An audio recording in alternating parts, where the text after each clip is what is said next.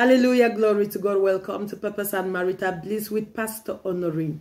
I have a prophetic word for someone. Your prodigal is bragging about you. Your prodigal is bragging about you. This word is coming to someone. The person you love left you, but they had not known you yet. They had not discovered the fullness of who you were yet. They are just realizing that you were actually God's gift to them.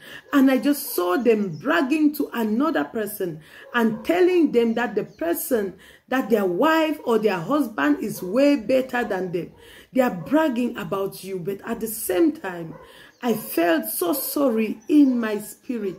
I felt sorry for them because they are discovering the fullness of who you are. They are discovering the treasures in the inside of you too late. They are bragging about you because they are just discovering who you truly are. They are just discovering that you were God's gift to them. But they are discovering too late. They are discovering too late. They are discovering too late. I pray God gives this relationship another opportunity. I pray God helps to restore this relationship. I pray God humbles them humbles them enough for them to come back and tell you, I realized I was wrong. I pray God gives you the grace to forgive them as well.